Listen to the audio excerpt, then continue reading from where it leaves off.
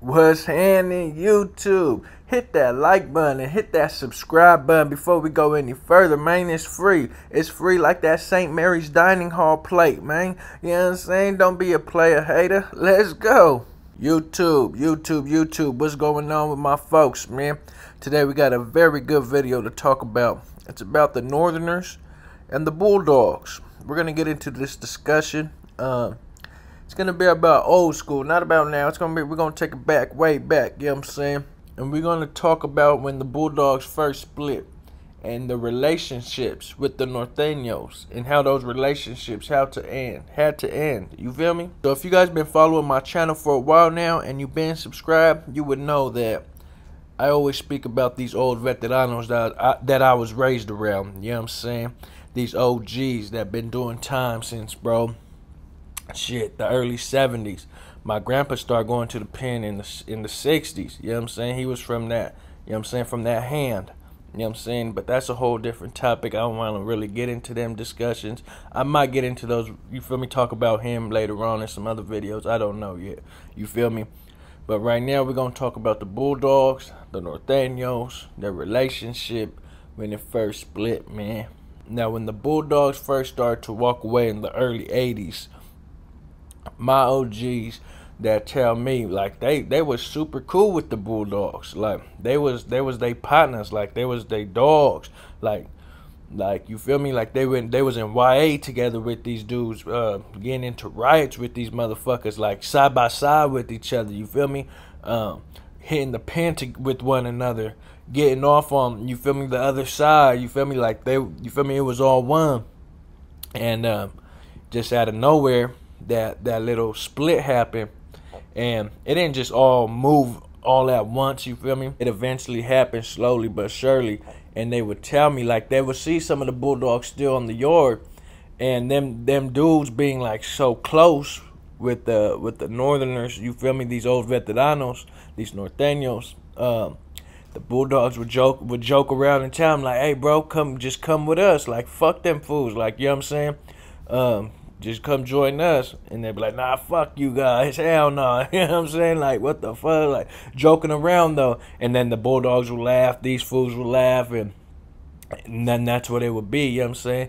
It, it was kind of like already a separation, but them fools were still on the yard. And at the same time, they said you had a lot of Bulldogs that didn't want to leave. You feel me? Like, they said they, there was hella Bulldogs that would tell them, like, bro, we don't even want to go we don't even want to branch off or do this, you know what I'm saying? But they said that they had to because they had outdates and they eventually are going to parole and have to go back to their neighborhoods. And then they're going to, you know what I'm saying? Then what? They're going to take on the whole city of Fresno that that damn near turned to flip to Bulldogs. You know what I'm saying? The ones that didn't want to leave were kind of like put in a in a predicament like fuck I have to go back to. I gotta. I eventually got to go home. You know what I'm saying? And fight all these niggas. Like so, that's the way they looked at it, and we're like, fuck it. We just gonna join. We just gonna join with them. Not all. Not all of them did that. Like you know, there's still a lot of. uh There's still a handful of Norteño hoods and Fresno still holding it down, still doing their thing. Shout out them dudes, you know what I'm saying? Old vet that I know dudes that I know, a couple of them be like, man, fuck those motherfuckers, you know what I'm saying? Fuck those bulldogs. Like they don't they don't like those dudes because after the split, like they got into shit with them, so you feel me? They don't like them. But then there's a couple that ain't never got into nothing with them. And they be like, man, those are the homeboys. Like, man, you feel me? They still got love for them fools. You know what I'm saying? And these are old dudes. I'm talking about like in their 60s and shit 70s now. You know what I'm saying? Like these motherfuckers is old as shit. you feel me? And like they, some of them be like, "Fuck those motherfuckers." Some of these old old veteranos be like, "Man, we man, we used to have love for them fools." You know what I'm saying? Like talking about old old ass stories and shit. And and I'm pretty sure there's some OG bulldogs that feel the same way. You know what I'm saying? Like deep down inside, they they never want to leave.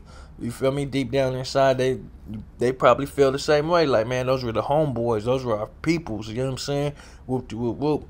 So yeah, man, that's that's my little spill on the Bulldogs from the OGs. I might have a couple other videos coming up. Uh, like I said, I ain't never met no Bulldog a day in my life. Uh, I know them fools probably hate me on here or whatever, but I ain't got nothing against no Bulldogs. You feel me? Uh, can't beef with a nigga that's a thousand miles away. You, feel me? like nigga, we got beef in our own backyards. Like we ain't worried about no. You feel me?